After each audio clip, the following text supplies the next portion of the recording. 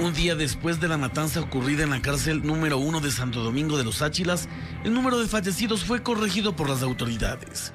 Confirmaron que ya no son 13, sino 12 los que murieron al interior del centro carcelario. 12 fallecidos y 12 heridos. Según el Ministerio del Interior, el dato anterior obedeció a una apreciación preliminar.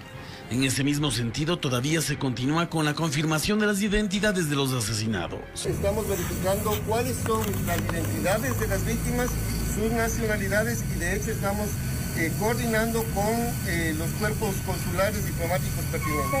Bajo control la prisión, se conoce que también existieron fugas el pasado día lunes. Eh, eventualmente, hasta este momento, tenemos la información de siete personas que se han evadido del centro de privación y libertad.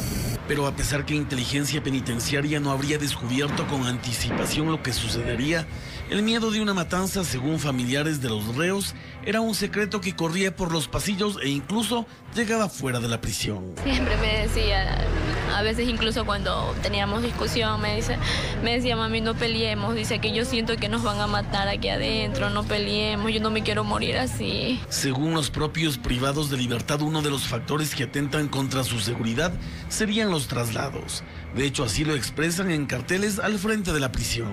Sin embargo, las autoridades tienen una lógica distinta.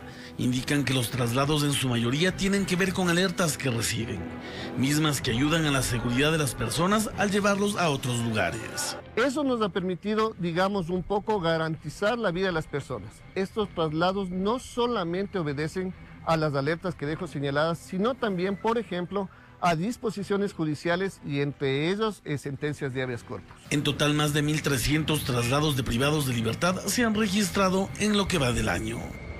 Informó Javier Rosero.